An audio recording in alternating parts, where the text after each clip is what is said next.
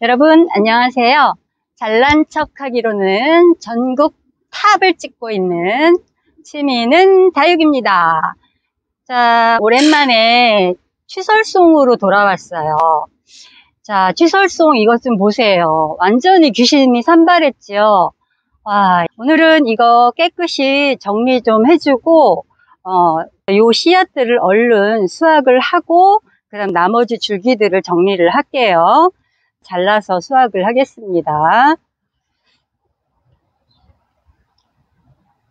음.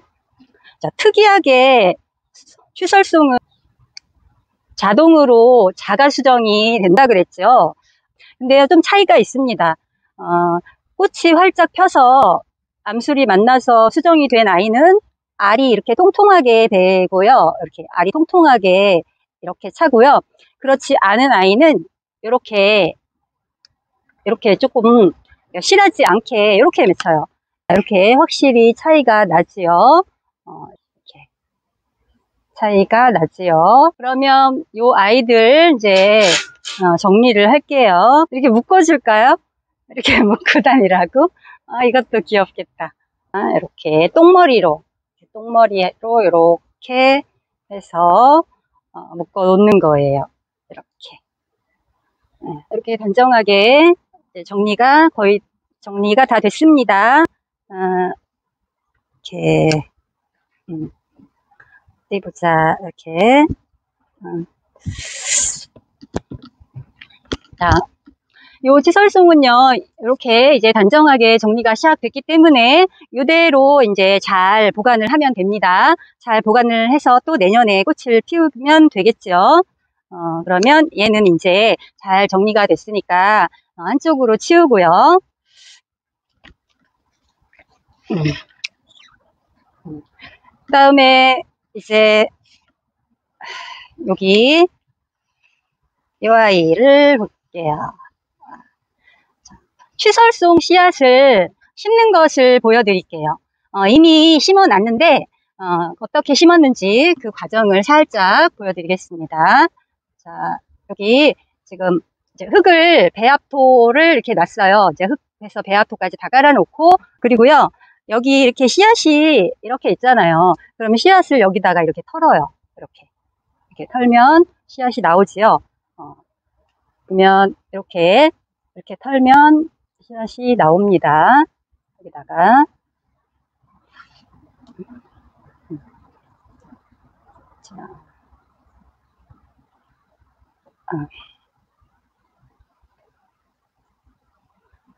여기다가 자 이렇게 털어 놓고요.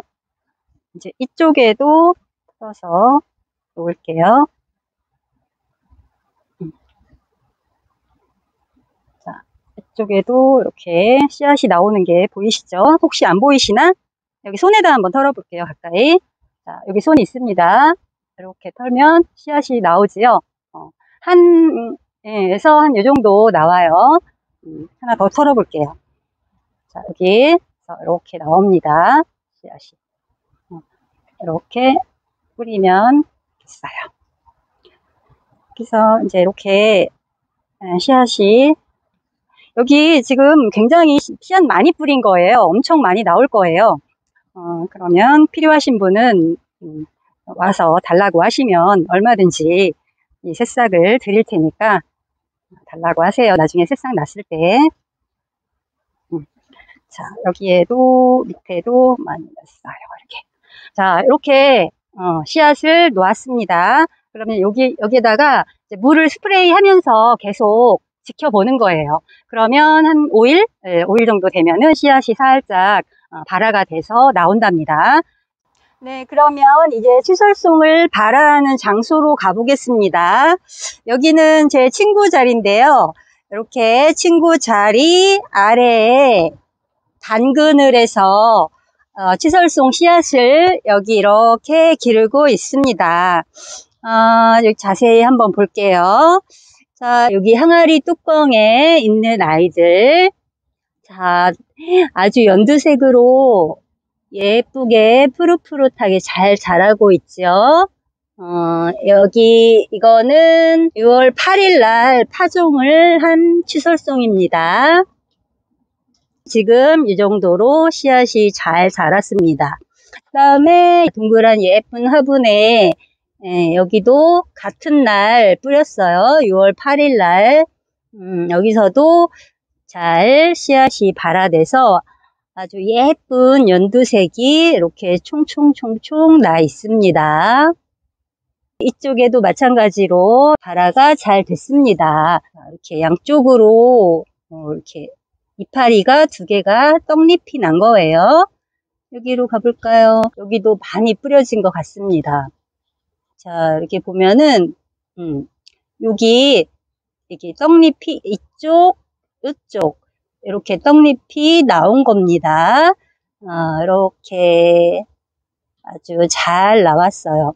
자, 음, 자, 얘네들 조금만 더 잘 자라면 이제 나눠야겠죠. 계속 이대로 자라면 여기가 너무 좁으니까 안 되고요. 조금만 더 자라게 해서 얘네들을 조금 나누고 어, 이렇게 친구들도 나눠주고 취설송은 거의 발화율이 뭐 90% 이상이라 그래요. 거의 발화가 잘 되니까 좀 전에는 굉장히 크게 보였죠. 사실은 요만했습니다.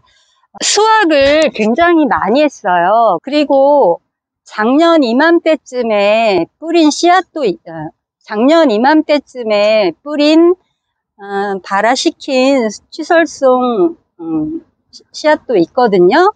거의 1년이 지나겠죠. 이 상태에서 1년이 지난 그 취설송은 과연 얼만큼 자랐을까요? 그것도 참 궁금한데, 자, 그것도 한번 보여드릴게요.